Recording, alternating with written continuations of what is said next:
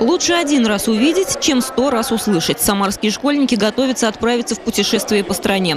В этот раз ребята познакомятся со столицей Башкортостана, Уфой. Многие еще ни разу не ездили на поезде, тем более на вагоне знаний, но заранее предвкушают интересную поездку.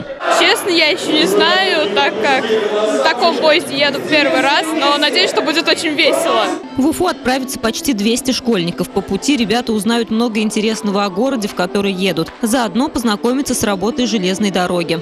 Это стандартный поезд, который у нас дневные экспрессы, которые ежедневно курсируют между субъектами федерации Приволжского федерального округа. В чем и хорошо. Каждый день, пожалуйста, можно не только детям ездить, ну и нам с вами. Юные путешественники проведут в Уфе два дня. Дети посетят городские музеи, познакомятся с башкирской культурой. Это путешествие по железной дороге.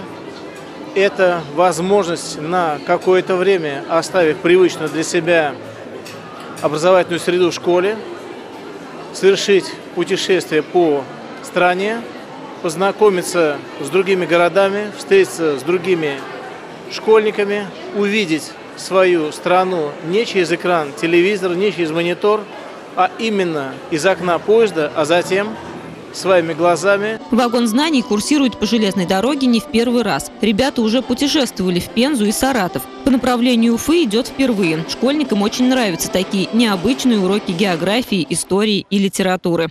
Марина Матвеевна, Артем Сулайманов. События.